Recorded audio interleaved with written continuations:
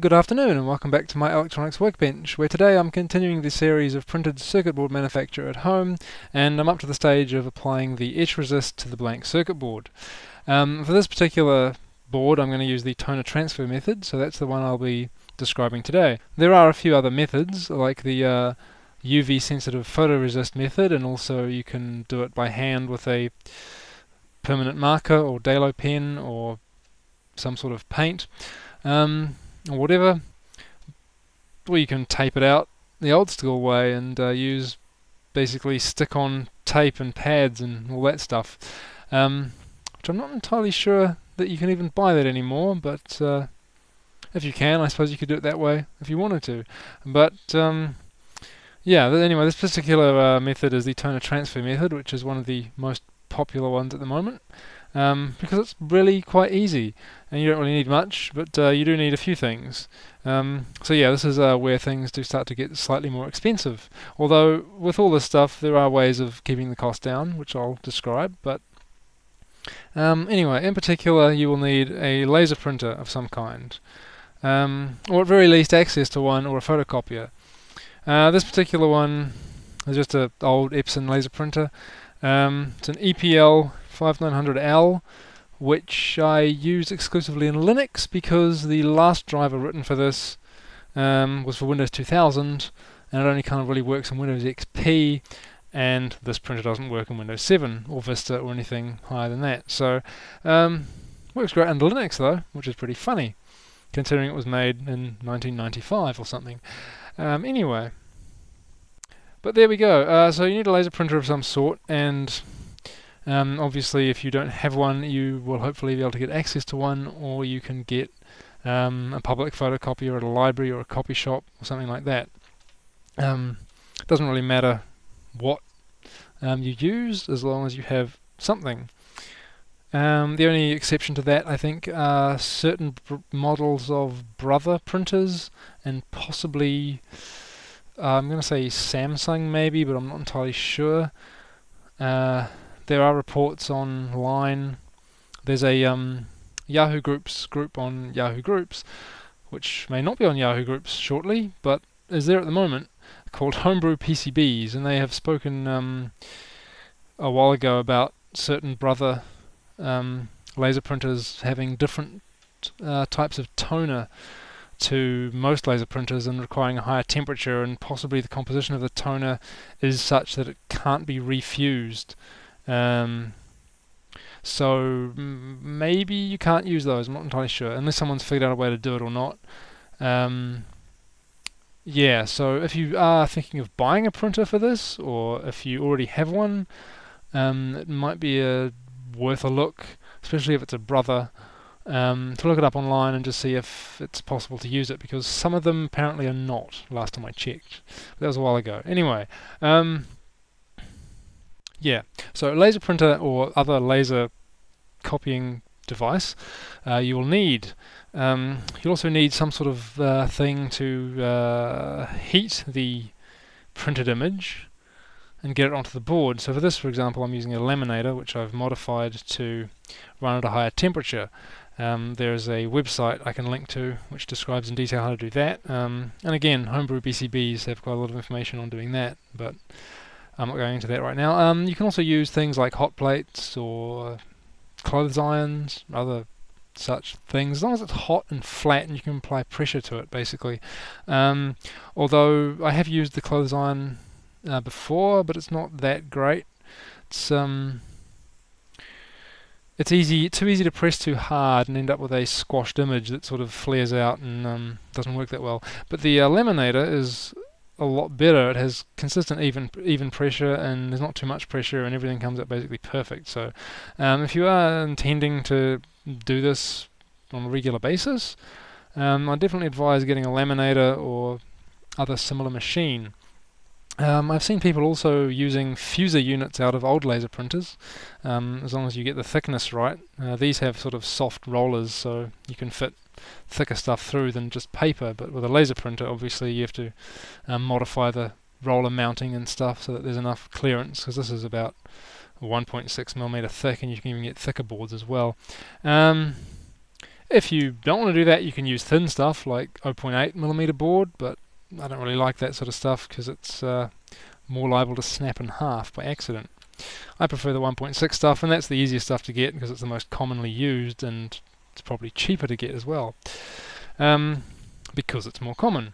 Anyway, uh, so yes, you need a laser printer, you need a heated thing, and you need your blank board obviously, but uh, we already know that. There's my design here. Um, just put that out of the way. But probably the most important part of this uh, whole method is the uh, transfer media. So you can buy this stuff, which is by a company called Pulsar Professional FX.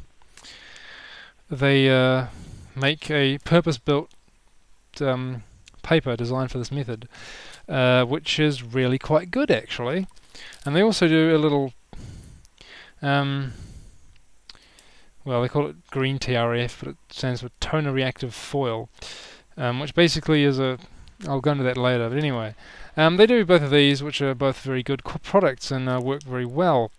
However, these are a little bit expensive. So if you are wanting to cheap out a lot um, on this thing, which is arguably not advisable because you won't get as great results, um, but it's still perfectly doable. Uh, you can use what I started out with using was um, uh, basically just old pages out of magazines. If you get a magazine that has glossy glossy pages, or maybe if you use, even if you use junk mail, but um, I wouldn't really want to put that in a printer because it's a bit kind of crusty. Um, but magazine pages, a, decent glossy magazine with uh, decent decent print on it. Um, if you cut the old pages out of that, and it's best to use uh, just text text pages if you if you can. Anything with dark images and lots of ink um, can cause problems. But a, a, a, fairly white page, one with text, is good. Um, if you take cut that out of a out of a magazine and print onto that, um, that can be used um, for transferring the design. It's not the best. You will get uh, bits of paper fiber left in the in the toner after it goes onto the board, and that'll potentially leave holes that the etchant can wick into, and it can make a little bit of pinholing on the board once you've etched it. Um, and it's not, yeah, I mean it works, but it's not great. If you use uh, that um, you'll get a working board, but um, you may not like the look of it or the quality. Um, perfectly fine for prototyping, I suppose. Um, that kind of thing, but if you want something that uh, will last a long time and that is easy to work with, uh, you're probably better off using something like this. Now, in saying that, this um, has been ripped off by China, as so many things often are. And in fact, I've actually got some of this here. So if you open this package, this is what I bought recently, just to see what it's like, because I've never actually tried it. Um, here's basically some sheets of toner transfer paper, which are pretty much this stuff. This is blue, and this is yellow. They're effectively the same thing as far as I can tell, although this is much cheaper, and it's from China. And I haven't tried it out, but there will be a video shortly after this where I give this a try and see if it works. Um, because I would like to know. And if it does, I might buy more of it. And if it does, I'll recommend it to people. anyway, um, that can be uh, that can do stuff later with itself. Um, in addition to, in addition to, but um, as an alternative to this stuff, um, you can also use. Some people claim they've used inkjet photo paper um, with quite good results. I have never tried that myself. Um, I don't really have any good source for that that's cheap, and to be honest, this is probably about the same cost, and this is really good. So if you're looking at buying inkjet photo paper, you probably should just buy this instead, to be honest. Um, unless this stuff works well, in which case I'd recommend this, but who knows. Uh, maybe worth supporting these guys because they do do a really good product. And in any case, you'll probably want to buy this. Now, this is the, um, like I said, the uh, toner reactive foil. And the idea is that um, once you transfer the image with this paper onto your board, um, even though this will transfer pretty much perfectly all the toner from this paper to the board, um, you will still have little holes in the toner because pretty much most printers just aren't perfect. Um, especially on large areas like large copper pours with large ground planes or whatever. Um, you will get little pinholes and after etching you'll get pitting and you have to clean it up and it's just a pain and it can cause a problem with really fine traces as well. This stuff you basically just put on over the top of the toner and it kind of seals in over the top and prevents pinholing and all that kind of stuff so it's actually quite good. So I guess whether you're using this or if you're using this, which we don't know how good this is but if it works, um, either way, whichever one of these you use you probably want to get some of this anyway. Um, so yeah.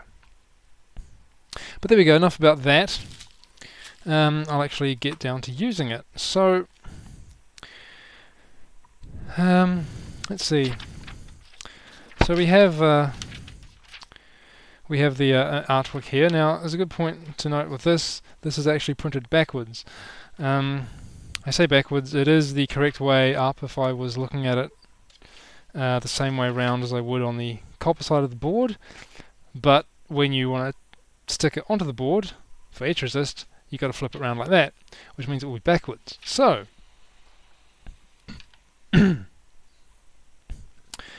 need to print the thing backwards so that when you flip it over it becomes the right way around um, the most obvious thing with this is that the text on here, which says 93PS9, um, that's facing around the correct way. Obviously, when I print it out, the text will be backwards. When I lay it on top of the thing, it'll be around the correct way. So uh, make sure of that. Anyway, if you confuse yourself, you'll figure it out. But uh, worth noting that uh, before you waste the expensive paper, um, you know, do a test print on this on just normal paper and uh, be sure that everything makes sense. So I'll get that over there, and I'm going to bring up um, let's see. You probably won't be able to see this very well, but it doesn't matter because it's not the point. Uh, if I bring up the um, file. Okay, so you might be able to see the design up on the monitor here. I'm not entirely sure. It might be washed out. Um, doesn't really matter, but anyway, I'm going to take this uh, thing here because it's around the wrong way, and I'm going to flip it so it's backwards. And I'm also going to uh, move it so that it's um, on one half of the page. Because I want to use I want to waste as little paper as possible basically. So what I'm going to do um, because this is basically uh, takes up about half an A4 page. It's effectively an A5 page. So what we can do is just cut a piece of A4 paper in half. Um, so what I'm going to do here, and again, this is just a test, because I want to be sure. I'm going to target an A5 size piece of paper, which is just half an A4.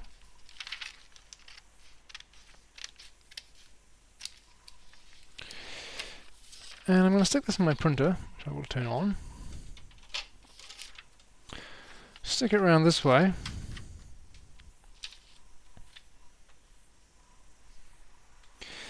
And I'm going to print it as a test. Now it's also worth noting you want to know which way up your printer goes. Hmm, that might be a bit noisy. Sorry about that. Um, it's a good idea to know which way up your printer prints. So for example, I know my one prints on the side facing up. So if I load the paper in here, this side will get the image printed on it when it comes out the top. This might be different for your printer. You might want to find that out because this paper and the other stuff um, can only be printed to on one side. Uh, you have to print it on the correct side, otherwise it won't work. So, um, yeah, make sure you figure out which way around your printer goes before you put this in it again, so you don't end up wasting it. Because uh, the coating on this can probably only really be used once. Um, once you run it through the printer, um, yeah, you probably can't really run it through again and expect to get decent results with it. So you want to use as little as this as possible and um, just do that, make sure everything's good. So I'm just going to print this uh, as is. Just checking the uh, paper. I mean, okay, I've set it to A4. I'm just going to trick the printer and just tell it I'm printing on A4. Um, also obviously worth putting your toner density up to highest. Turn toner save off because that often uh, leaves little holes in the toner on purpose just to save toner. So you want to turn all that kind of stuff off. Um, put the density on highest, put the resolution on highest, and um, yeah, have all that set up. So I'm going to tell it that I'm printing on A4 because we've basically um, done that. Doesn't really matter that the uh, page is half the length it should be. The printer won't really care. Well, it'll care, it'll complain probably that the paper was too short, but as long as you don't have a tiny piece that's going to get stuck in there somewhere, um, it won't matter. And now it's, yeah, flashing a red light at me because I was a bit of a dick to it. but anyway, we can see it comes out around the right way, and everything makes sense. So, you also see that it's printed backwards, which is exactly what we want. So now all I have to do really is just cut a piece of this to the same size as this and run it through, which is what I'm going to do. So this uh, one here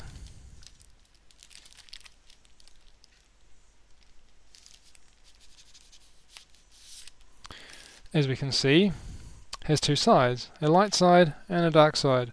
The light shiny side is the one you want to print on. So like I said with mine, this side will face up. But anyway, uh, that's too big, so I want to cut this off. So let's cut, uh, let's see,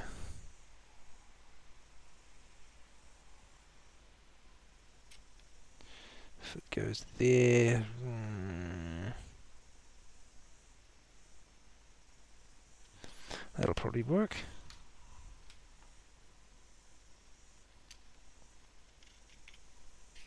This doesn't have to be perfect.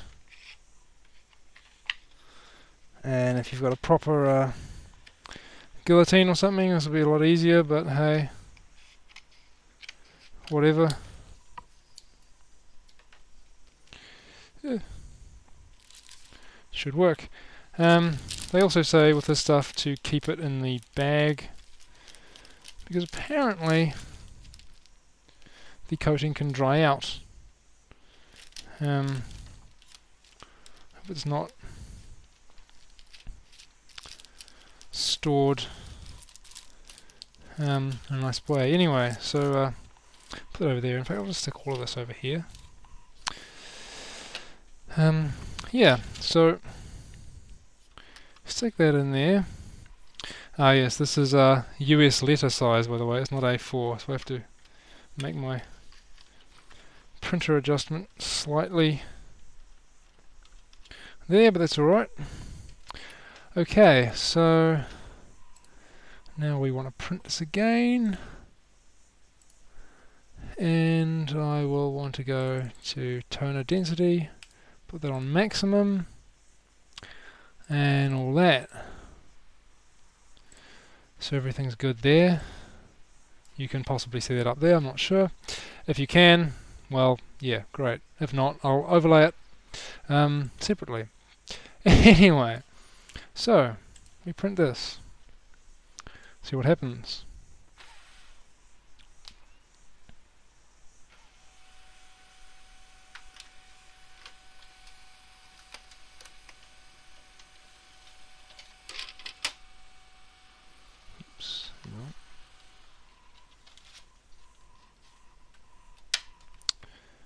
So there we go. That's come out really well. I mean, you can see, well, you probably can't see, um, there are some points on this uh, track, this wide track here, where I can see the uh, toner is a little lighter, so that's the kind of place where you'd get possibly pinholes and where you really, uh, really have an advantage with using this over the top of it. So anyway, um, Now that I've got this printed, uh, we then have to uh, concentrate on getting it onto the blank copper. So the um, basic thing with that is you just cut this out, stick it on there, shove it through the laminator, or iron it with your clothes iron, or stick it in your sandwich maker. So I'll just move my laser printer out of the way um, because it's kind of in the way now. And then I can set this up properly and I can show you how the laminator works um, and all that stuff. So hold on one second and I'll just restructure everything. Okay, so with the laser printer out of the way and a bit more room here, I can uh, concentrate on uh, refusing the uh, toner from this paper onto the board. Um, so with this I use my laminator, which I've modified to run at a hotter temperature than it normally would, which is why the uh, top of the case is a little bit melty, but that's fine. Um, yeah, if you do want to uh, use one of these, uh, I don't think you can buy this model anymore, but most laminators are usable. Um, the uh, modifications required to modify them will probably vary depending on the model, um, but most cheap basic laminators will be usable. Um, some of them will need to have the roller mounts moved um, to accommodate for thicker material. Um, some of them won't. It all just depends on what you get. Um, but yeah, you could add a switch to modify the circuitry to uh, switch between normal temperature and the hot temperature for doing toner stuff. Um, so you could still use these as, as a laminator normally if you did want to do that. You just have to modify it with a switch. I haven't done that because I don't laminate anything normally. Um, I've bought this specifically just for doing circuit boards.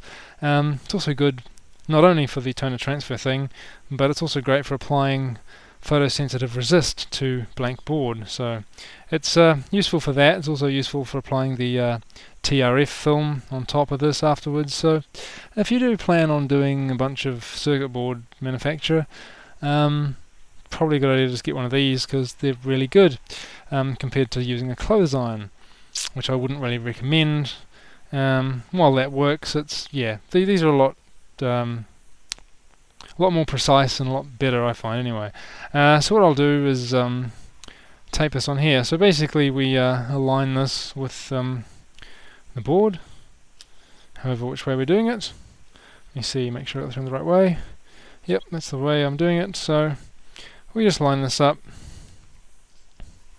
You know, we can line it up to uh, make sure the edges all match and everything makes sense. And then you just uh, take some masking tape and uh, put this on, well, just one edge really, you don't need to do it.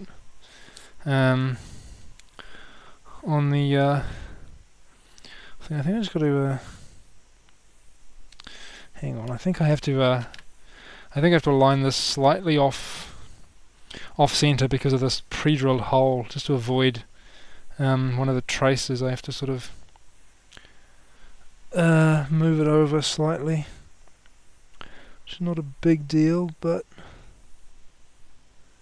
just to make sure it just it just squeezes on there. Um, as it is, so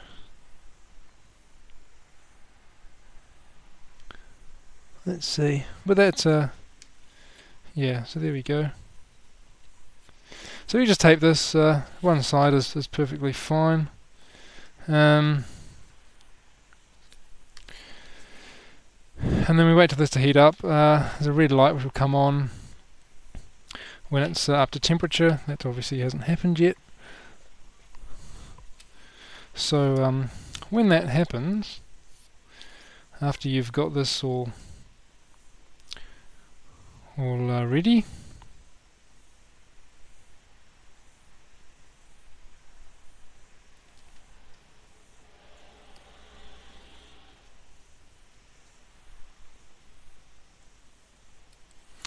Make sure that all makes sense. Um, yeah, then you just put it through like you would with a piece of paper.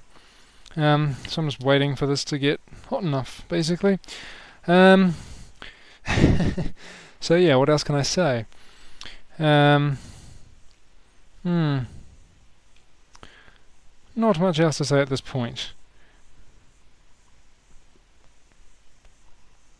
Oh, there we go, the lights come on. Okay, so now we can just start feeding the board through. Now obviously this is a rather large board, so I don't really have to worry about anything too much. I just stick it in there. Okay, need to give it a little push.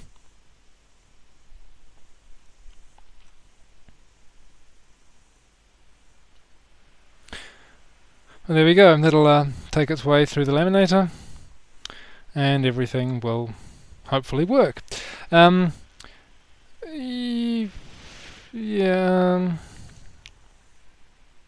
you do typically need to uh, put the thing through more than once. Um, the exact number of times is debatable. Um, probably depends on the actual board itself, the size, um, your laminator, thickness of whatever paper you're using. As I can see, that hasn't actually adhered at all. So it's not even hot enough yet. So I'll need to... Uh, hmm.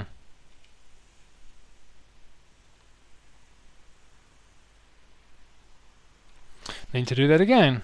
That's alright. It'll get there. I hope this thing still works. I haven't used it for ages.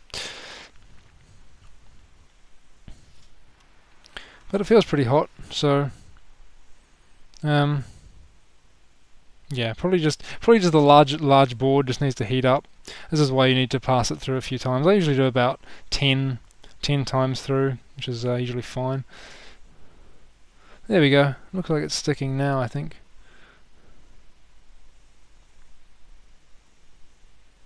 Obviously bear in mind this will be uh, quite hot. So you don't want to um,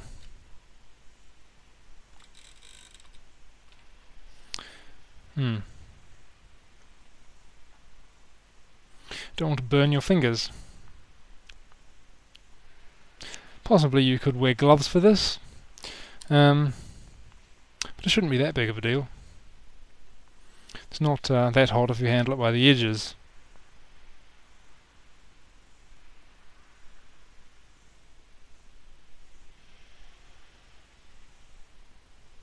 I'm going to run this through several times and yeah.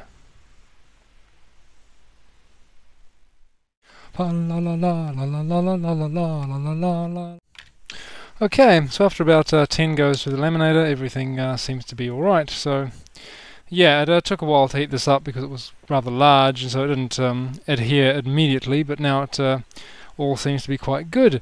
So basically the uh, next point of this is just to let it cool down naturally.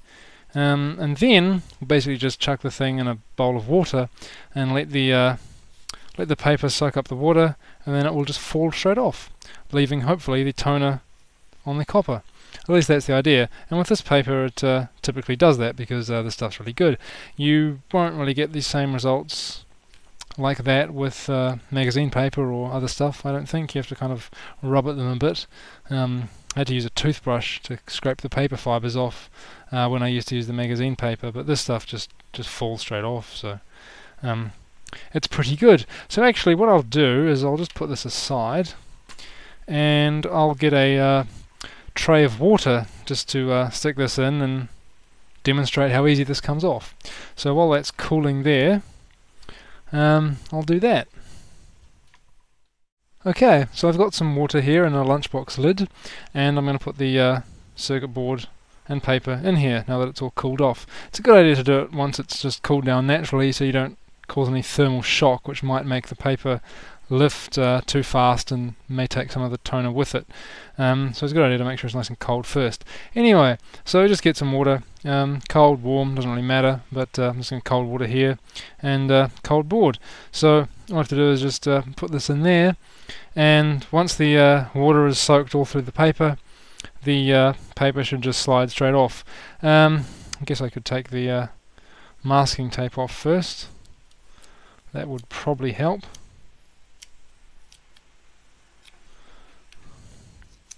Just to uh, give the added effect. Just be careful not to pull this too hard. I'll just uh, get that free.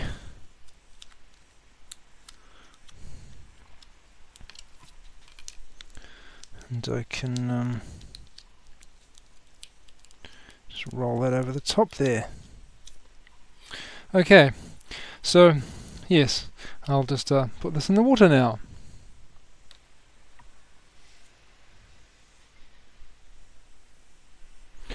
And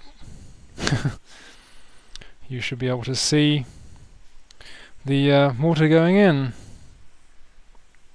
or on or whatever. So poke it with this.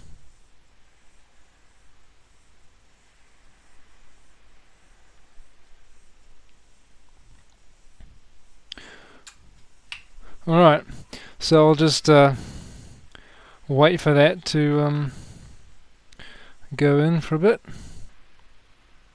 But anyway, um, I can just play around with this. In fact, actually, it's probably lifting off right now. So if I uh, just do this carefully so as not to uh, get water spilling all over my bench. But if I was to uh, pick up the board there, I was to um, pick up the board like this, the paper should just fall off. As you can see, indeed it is doing so. Just like that. And that's what you expect from uh, the high quality types of transfer paper. So um, yeah, just just being careful about all this wet paper and stuff everywhere. But there we go. If you can uh, see that, I'm just holding up for this camera there. But um, yeah, I'm not sure I can actually see that very well.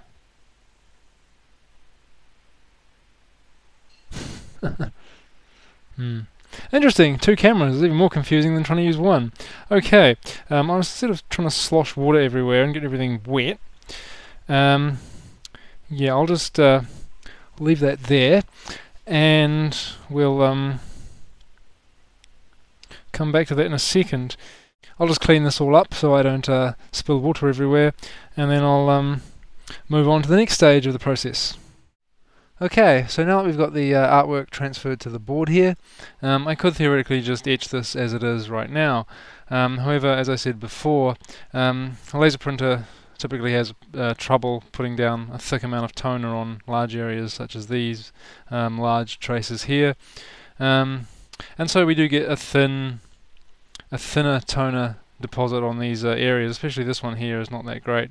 There are some holes and it's quite thin. I would be worried about the etchant getting into that and uh, causing a problem. So um, there's two ways to solve that. Uh, first is to uh, use a Dalo pen or permanent marker, Sharpie, whatever you call them. Um, in New Zealand I think Vivid is the popular name. Um, anyway, this is basically etch resist in a felt tip pen basically. Um, this is a this one is from Dick Smith or Jaycar, I'm not sure exactly, I can't remember. Um, probably Dick Smith, it's pretty old.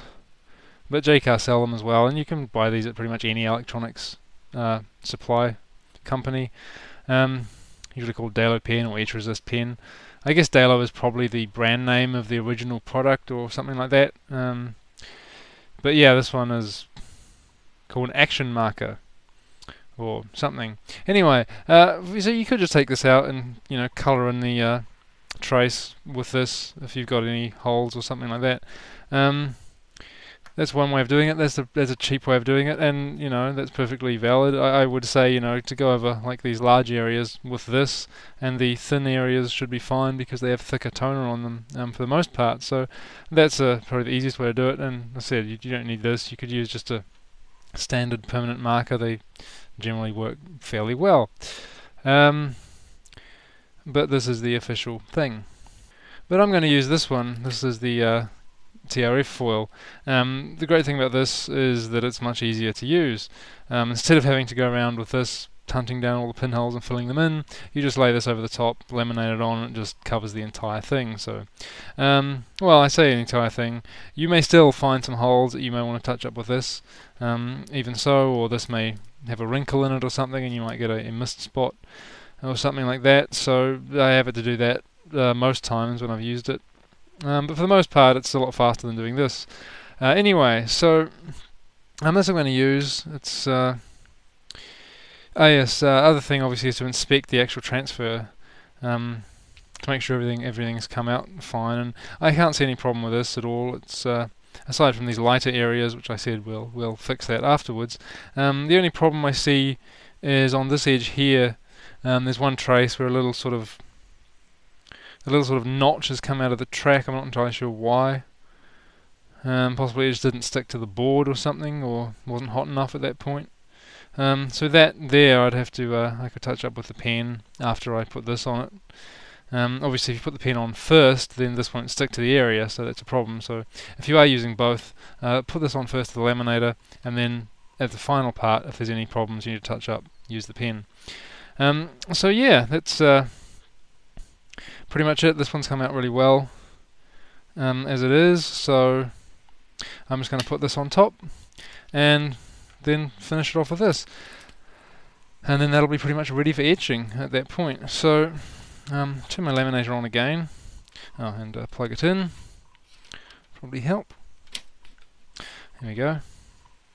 Okay, so we take this out,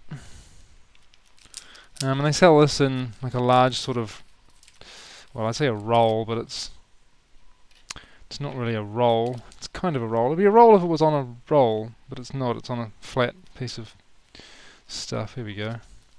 Um, this again has two sides. Uh, the dull side is the transfer side, so that's the side you want to put against the board. The shiny side is the side that goes on the outside.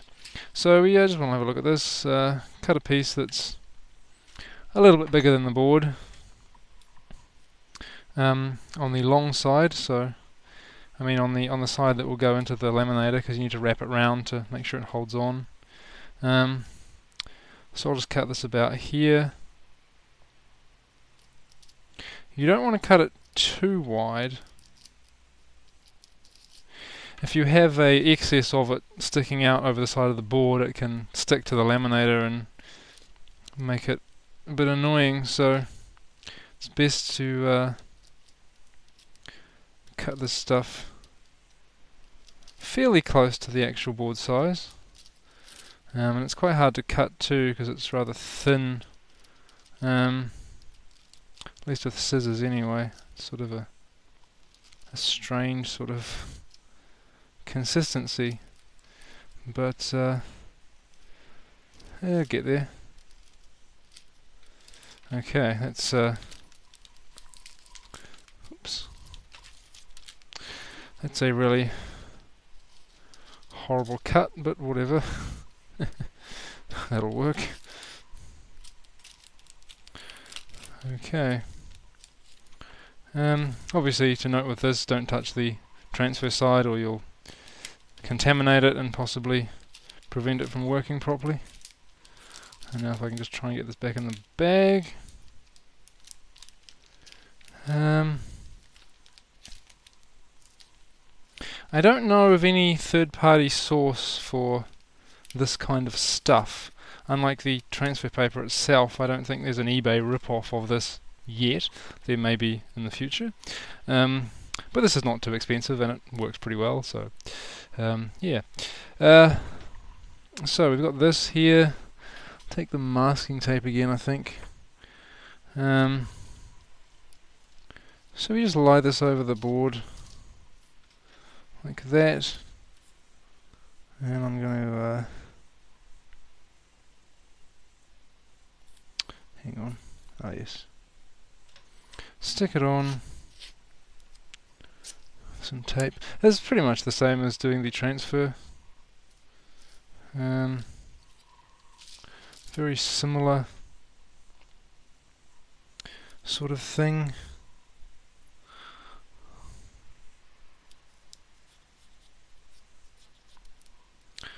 That should do it. Um, it is worth noting that when you do put this in the laminator, you need to uh, keep it keep it straight and um, try to try not let it wrinkle up, which is harder than it sounds. But um, if you do get it wrinkled, then you will have a problem. Anyway, let's wait for this to heat up. There we go. Okay, the red light is now on and the laminator is ready to use. Um, so unlike the uh, transfer paper, this is a lot thinner um, and you don't need to do it, uh, put it through 10 times or anything like that. It should be fine just to put it through once. Um, that said, this being a large board, I'm not entirely certain, so maybe I'll have to go through twice. I don't know. We'll just have to see um, what happens. Um, yeah, so I think the best way of doing this um, is to put it through. So I'm just holding this kind of tight as I put it in. And hold this sort of tight as I put it in, and then I'll pull it up and hold it. Um, just try and show you how that works. So anyway, I put this in here. Once it's going through, we sort of lift this and apply pressure to it. I mean, I say apply pressure, give it, a, make it taut, um, and this will basically mean that the uh, well, there's less chance of wrinkling if you do it this way, basically. At least that's the idea.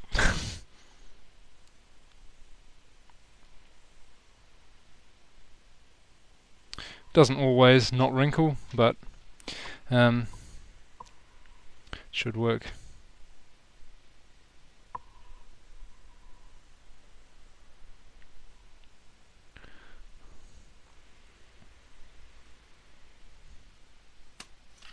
And there we go, that's gone through. Um, looks like it's transferred all at once. Um,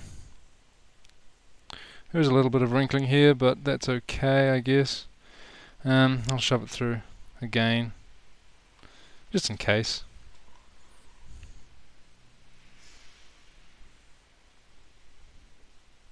Won't really matter if I put it through twice. Um, but it looks like it has all mostly gone through, apart from maybe this corner here. Not certain. Um, yeah, there may be better ways of doing this to avoid wrinkling. I'm not entirely certain. Um, yeah. Still,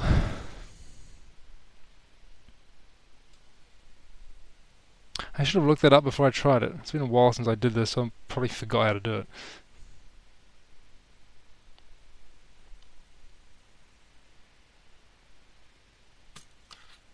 Anyway, that should be fairly good, so I'm going to turn this off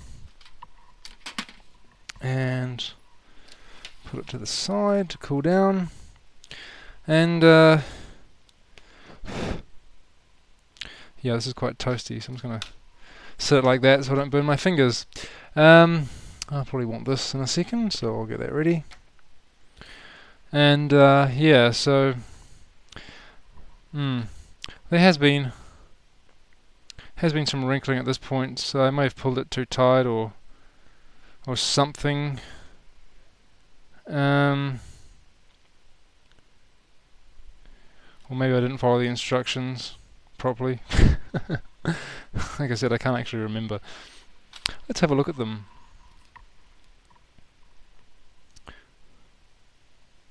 Cut a piece of foil the width of the board plus 2 inches longer.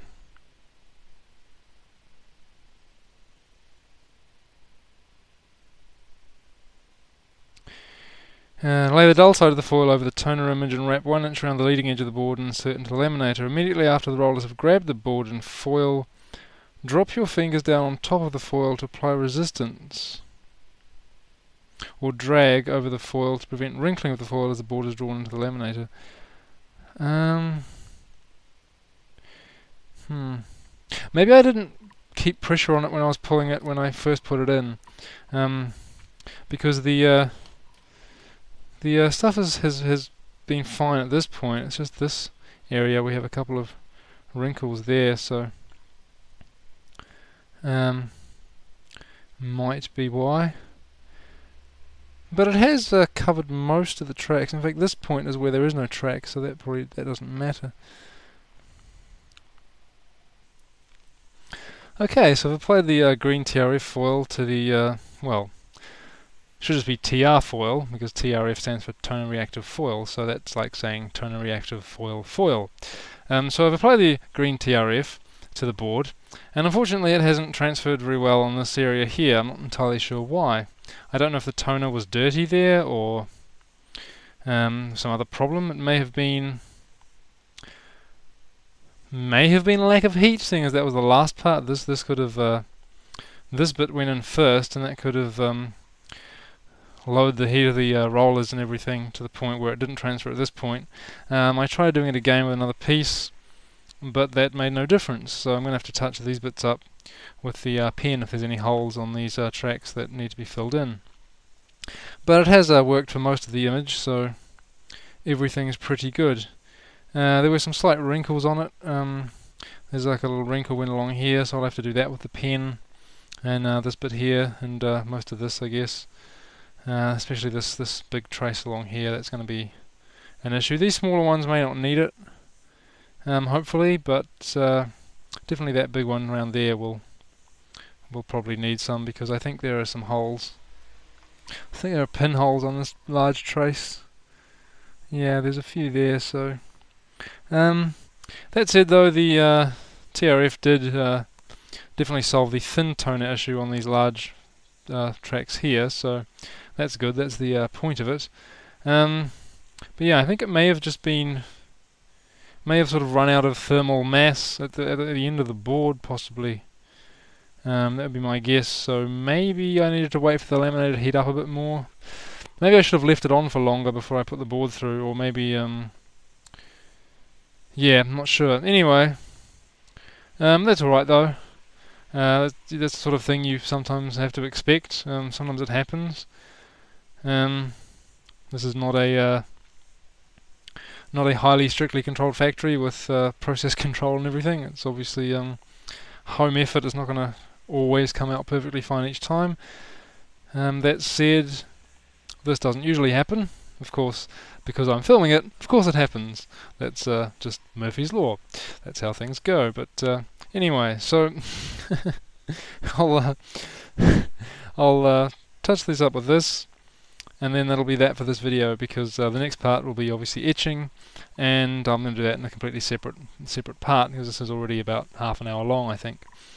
Um, or possibly longer. Anyway so uh, I'll uh, take some photos showing the difference between the um, thin areas and the uh, areas with the TRF on it now. And uh, you can see uh, just how well this stuff does fill it in when you actually have enough heat applied which I suspect was the problem on this this area. I think it ran out of heat Anyway, but uh, there we go. Okay, so here are some comparison photographs between the original transferred toner image and the uh, image with the TRF over the top. And you can see that uh, in most cases where the uh, TRF actually adhered to the toner, it definitely does give a much more solid layer of uh, etch resist. Um, unfortunately, the parts you can see where it hasn't transferred properly, um, still left some sort of holes and stuff uh, which you can see there. You can see the uh, copper shining through. So yes, those areas are the parts I will need to cover up with the Dalo pen, and typically I don't need to do it that extensively, but there you go. I suppose Murphy has to stick his oar in somewhere. Anyway, so I guess I'll just have to uh, tidy this trace here up, and maybe a few here, here and this area of these pads um, with this pen. So I'm just going to do that, and show the finished, show a photograph of the finished, finished layout after that. Um, so there's not really much to that. It's just a pen. Uh, they have a um, it's a felt tip sort of, and it has it's uh, it is pressure sensitive though. So the more you press it, the uh, tip goes in on a spring, and you'll get a lot more ink coming out or etch resist or whatever it is. Um, so don't press too hard unless you want a massive splodge of etch resist going everywhere, which is kind of annoying. Um, you just want a light pressure. Um, I'm just going to start off without doing anything and just, uh, well, I'll have to push a little bit, I think. See, there we go, massive blob. Um, that's alright, I can just work this around and uh, go over these bits. But there's pretty much all there is to it, just sort of colouring in the parts where the thing hasn't gone on properly.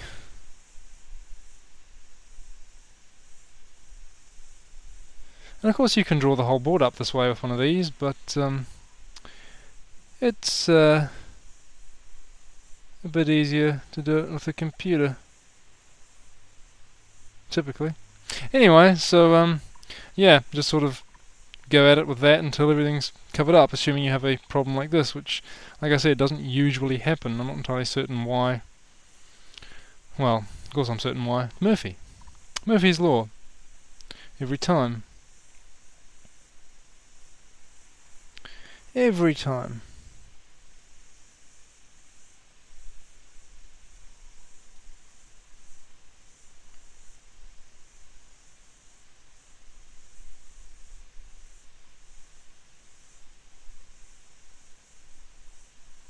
But yeah, I won't show this whole process, I'll just uh, finish this off and then I'll show you the finished product.